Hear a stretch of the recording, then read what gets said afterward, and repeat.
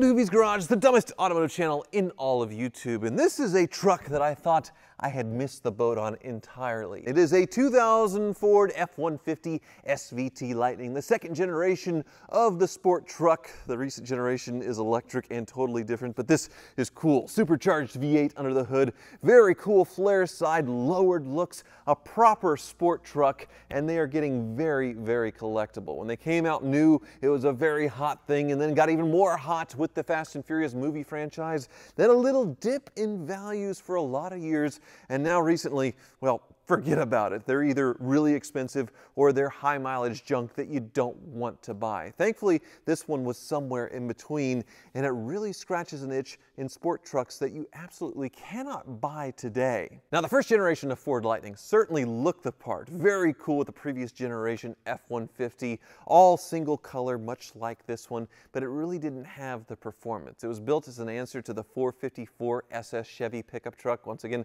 not a lot of performance there, but a big 4 54, so at least that number was there. Both of them burnout monsters, but not very fast. The 454 was retired, but for whatever reason, the F-150 Lightning came back in a second generation in 1998 looking like this. They started out with 360 horsepower, but by 2000 they bumped that horsepower up by 20 and the torque around 450, making it a proper performer around 5 seconds 0 to 60. So it was faster than, say, a Mustang GT or even a Mustang Cobra of its time and even cars like the BMW M3, so many performance vehicles of this era were smashed by this truck. It was actually the world's fastest production truck for many years until the Viper SRT10 came out with its V10 under the hood. But perhaps what made these the most iconic is its fast and furious pedigree. Brian O'Conner driving around in an F-150 just like this, in this color, ordering the tuna no crust and street racing with Dominic Toretto,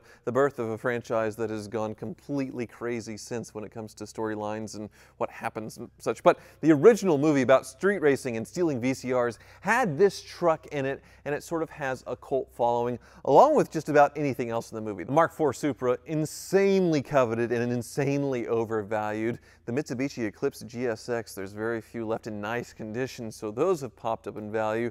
The Fast and Furious pedigree really hasn't popped these all that much yet, because they do bring similar prices to a 4 454 SS or a Viper SRT10. And honestly, I think this is the best looking one of the bunch. So when a viewer emailed me saying I would like to sell my Lightning that I've owned for many years, would you be interested in it? I said yes, even though I wasn't looking for one. He priced it reasonably enough that it was the cheapest Lightning in the USA. And today we're going to find out why, because we'll drive the car up to the car wizards for an inspection. But at first glance, it does look like a very, very nice truck. And even underneath, from what I can see before it goes up on the lift, despite being a Wisconsin, a northern car, it does look pretty darn nice. But before we start the tour and head up to the Car Wizards, I would like to thank Car Vertical for sponsoring today's video. Car Vertical is a service that provides vehicle history checks in more than 25 countries. Their data comes from various national registries, insurance companies, car manufacturers, car sale websites, crashed car auctions, and car maintenance databases, and show you all this information in one single report. So when I used it to check the history on my Ford Lightning,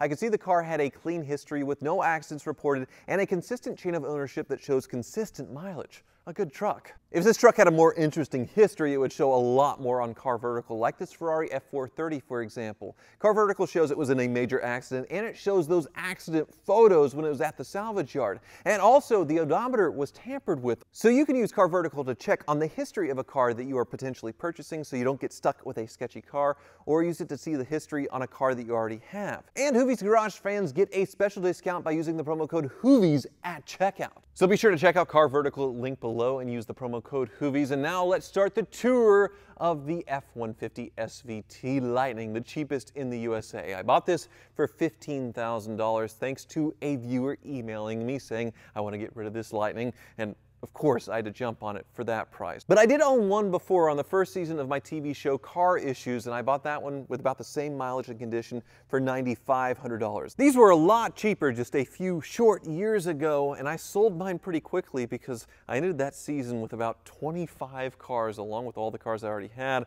and I needed to get rid of a lot of them. So anybody that was interested in anything, I just let them take it. But I definitely regretted the Lightning, especially in hindsight considering the prices going crazy and how fun they are to drive. But just the look of them is pretty cool in itself. I think it's the best looking of the three sport racy trucks of this era, say the Dakota RT, the Viper SRT10, the Chevy 454 SS. This is the coolest. The step-side bed lends itself to this sport truck treatment. They lowered it just right with SVT wheels, added four-wheel disc brakes so this thing can actually handle pretty well. And the body kit on it is pretty subtle, but you can tell that they actually tried to make this bumper look a little more aggressive. They gave it side skirts as well, but when you go over to the passenger side, it's probably the coolest part. It has a side exit exhaust right by the step side bed here. And this one, like most of them, has an aftermarket exhaust, which is pretty much essential to do because they were pretty muffled from the factory.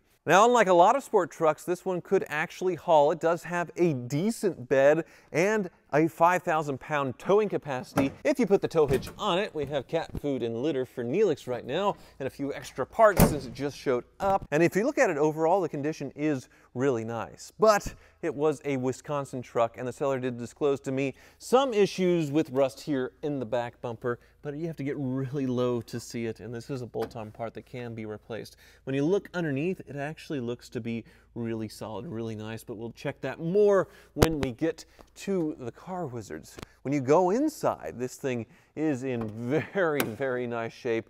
Way nicer than the truck that I had before, so that is a big plus. They did a kind of suede knockoff here with leather inserts, and they are two sort of buckets, sort of not because it is a bench over here, but they made it in the shape of a bucket. This folds up, and then you can actually have a middle passenger.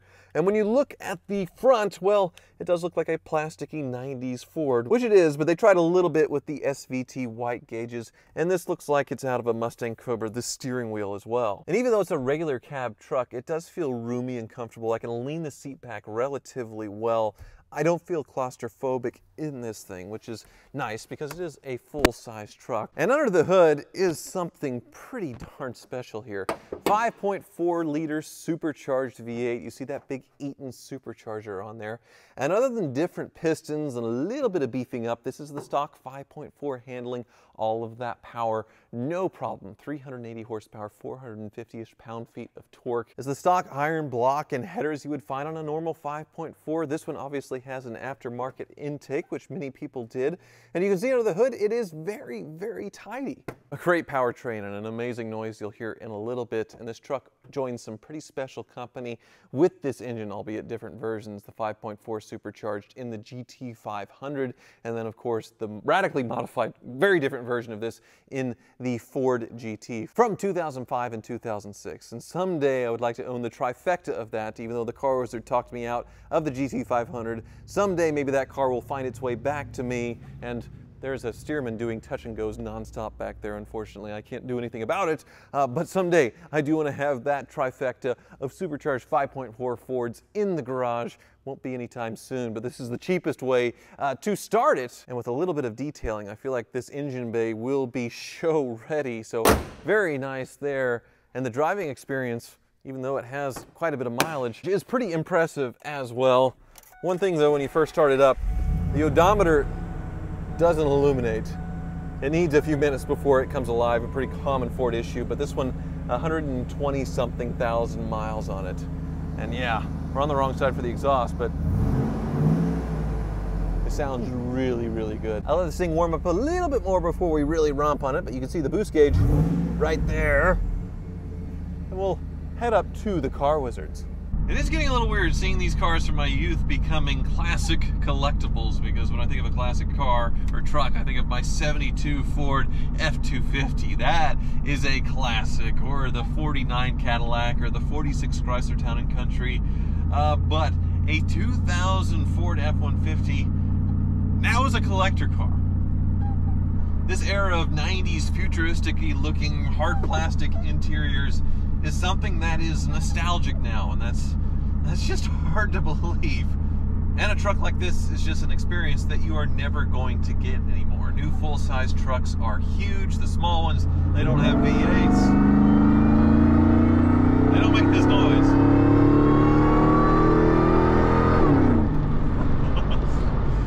oh, that 5.4 supercharged V8. It's just perfect no matter what vehicle it's in. It just sounds so good.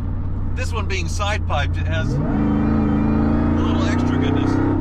And you can certainly hear the supercharger very easily in this truck. In the GT500, you can hear it as well, but maybe it doesn't sound quite as good as this. And of course, the Ford GT, that noise is right behind your head. It's just incredible, intoxicating.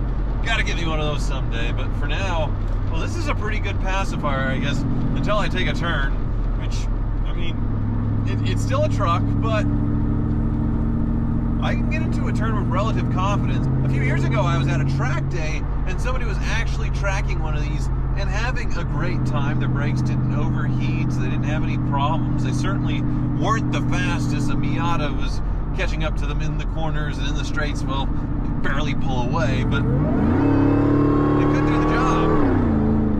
I don't think there's anything wrong with this truck, and you can see the odometer's come alive, 126,000 miles. So it is very, very happy and very, very happy to do donuts.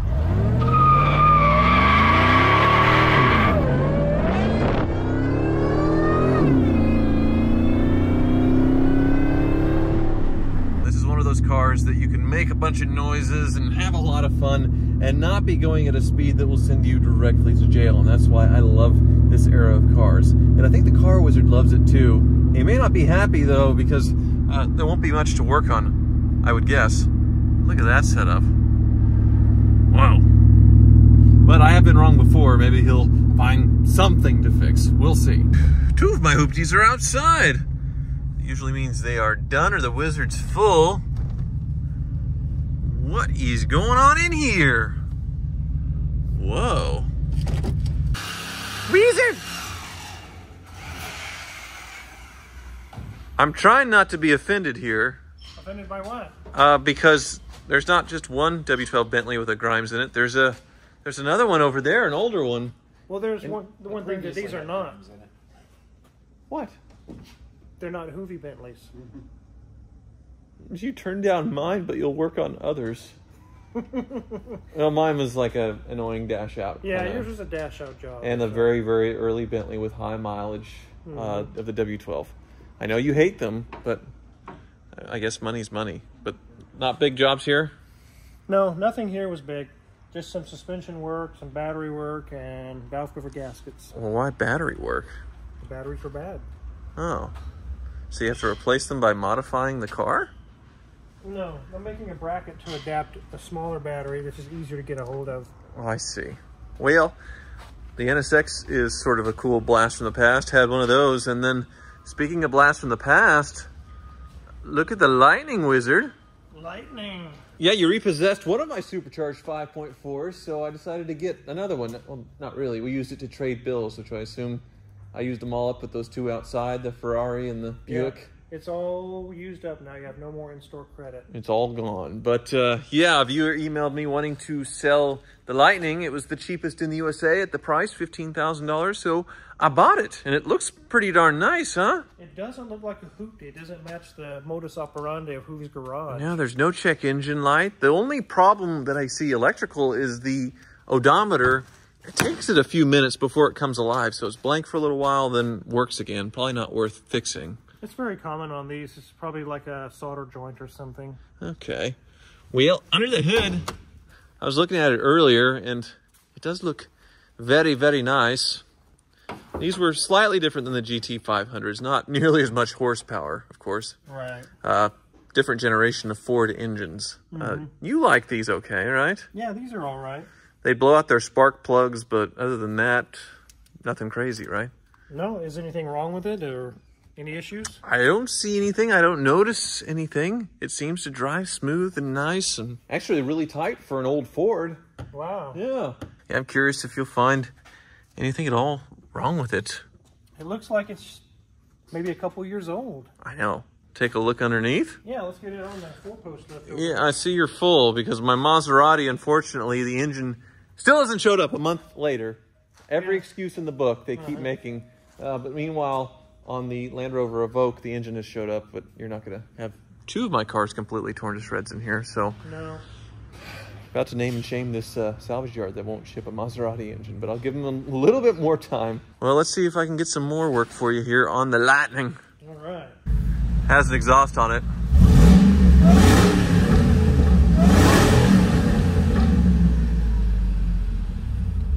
Well, let's get it up in the air. What happened here? maybe whoever's putting on that trim, it was a Friday in August of 2000 and he was ready to check out.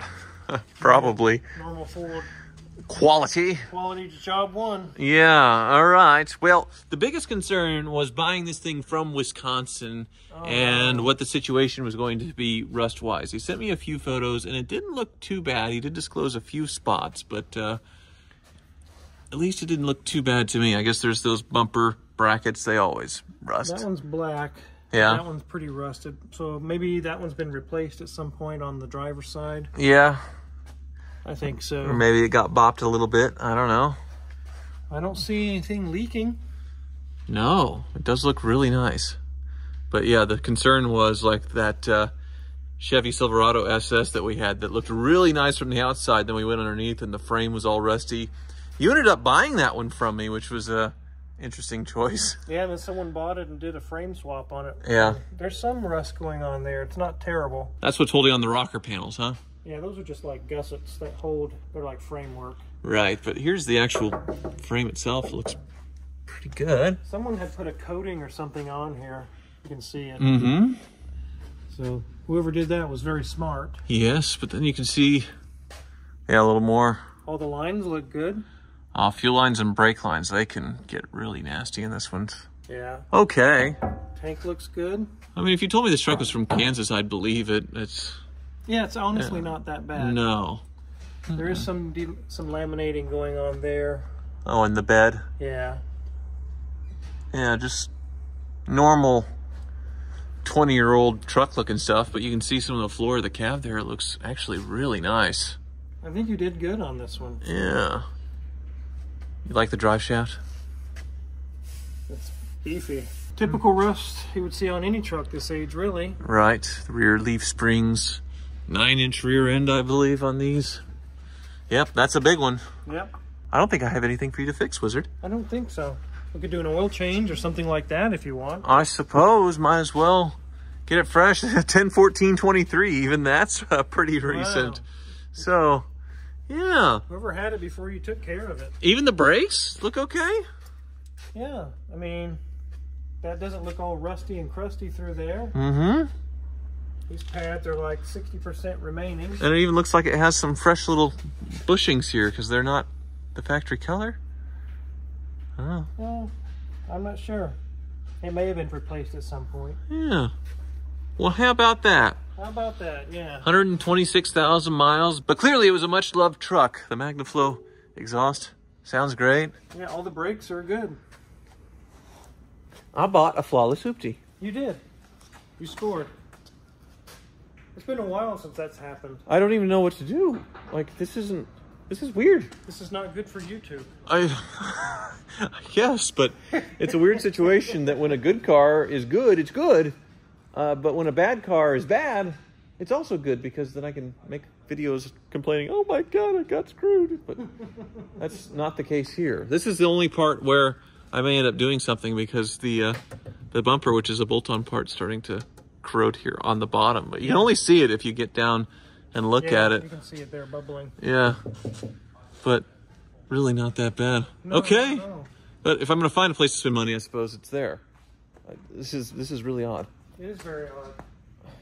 Speaking of, the lot is the same color as the Ferrari, as the Lightning, as the Fiat. It's like an What? entire red lineup. What a row here, and what a dynamic set of cars that you have with these two. Jeez, these are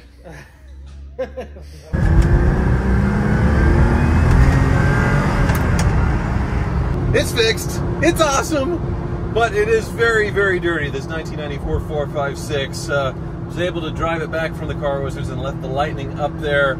Uh, but it is very dirty. So we're gonna head down to Van Gogh, get this thing a final wash. I actually had this car sold and money should be coming for it any day now, uh, but I can't deliver it to him this way with all of this dust. And uh, Stuart has a car for me to pick up at Van Gogh anyway, so very excited to see the transformation there.